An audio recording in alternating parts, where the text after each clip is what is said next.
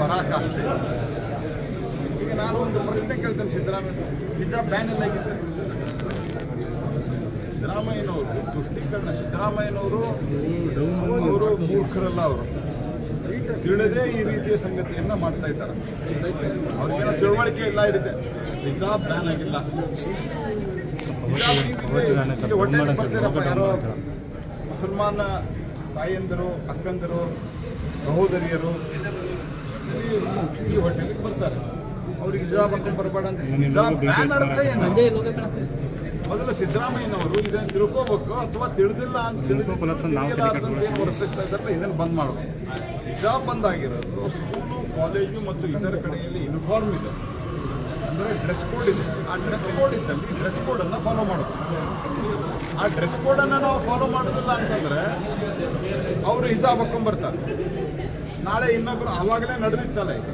ನಾಳೆ ಇನ್ನೊಬ್ಬರು ಸಂಘಟನೆಯವರು ನಾವು ಕೇಸರಿ ಶಾಲೆ ಹಾಕೊಂಡ್ಬರ್ತೀವಿ ಅಂತಾರೆ ನಾಳೆ ಇನ್ನೊಬ್ಬರು ನಾವು ಟೊಪ್ಪಿ ಹಾಕೊಂಡ್ಬರ್ತೀವಿ ಅಂತ. ಇನ್ನೊಂದು ಯಾವುದೋ ರೀತಿಯ ಟೊಪ್ಪಿಗೆ ಆವಾಗ ನೀವು ಕಾಲೇಜಲ್ಲಿ ಸ್ಕೂಲಲ್ಲಿ ಮತ್ತು ಬೇರೆ ಕೆಲಸ ಮಾಡುವ ಜಾಗದಲ್ಲಿ ಅವರು ಈ ರೀತಿಯಾಗಿ ಪರಸ್ಪರ ಅವರ ಜಾತಿ, ಅವರ ಒಂದು ಗುರುತಿಸಿಕೊಳ್ಳುವಿಕೆ ಆ ಕಲರ್ ಆಧಾರದ ಮೇಲೆ ಆಗ್ಬೇಕಂತ ಬಯಸಿದಾರ ಸಿದ್ದರಾಮಯ್ಯವ್ರನ್ನವರು ಏನಾದರೂ ಸ್ವಲ್ಪ ಆದರೂ ಸಮಾಜದ ಬಗ್ಗೆ ಕಳಕಳಿ ಇದೆಯಾ? ದೇಶದ ರಾಜ್ಯದ ಬಗ್ಗೆ ಕಳಕಳಿ ಇದೆಯಾ ಸಿದ್ದರಾಮಯ್ಯನವ್ರೆ?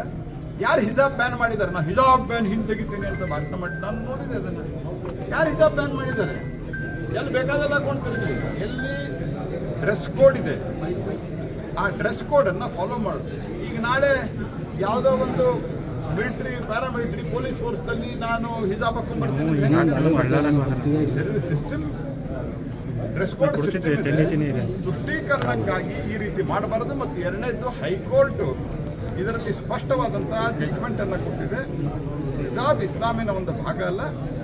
ಎಲ್ಲಿ ಅವರು ಹಿಜಾಬ್ ಬ್ಯಾನ್ ಮಾಡಿಲ್ಲ. ಐದರ್ ಹೈಕೋರ್ಟ್ ಅವ್ರ ಸುಪ್ರೀಂ ಕೋರ್ಟ್.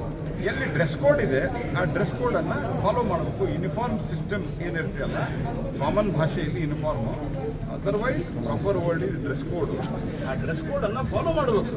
ಈ ಡ್ರೆಸ್ ಕೋಡ್ ಫಾಲೋ ಮಾಡಲಾರ್ದೆ ನಾನು ಹೆಂಗ್ ಬೇಕಾದಂಗೆ ಇರ್ರಿ ಅಂತ ಕೊಡ್ತೀನಿ ಅಂತಂದ್ರೆ ಅರಾಜಕತೆ ಉಂಟಾಗತ್ತೆ. ಸಿದ್ದರಾಮಯ್ಯನವರು ಇದನ್ನ ಅರ್ಥ ಮಾಡ್ಕೋಬೇಕು. ತುಷ್ಟೀಕರಣದ ಪರಾಕಾಷ್ಠೆಯಿಂದನೇ ನೀವು ಸ್ವತಃ ಮುಖ್ಯಮಂತ್ರಿ ಆಗಿದ್ದವರು ಆ ಸಂದರ್ಭದಲ್ಲಿ ಎರಡು ಸಾವಿರದ ಹದಿನೆಂಟರಲ್ಲಿ ನೀವು ಸೋತಿದ್ರಿ ಅನ್ನೋದನ್ನ ನೀವು ನೆನಪಿಟ್ಕೋಬೇಕು ಥ್ಯಾಂಕ್ ಯು ಸರ್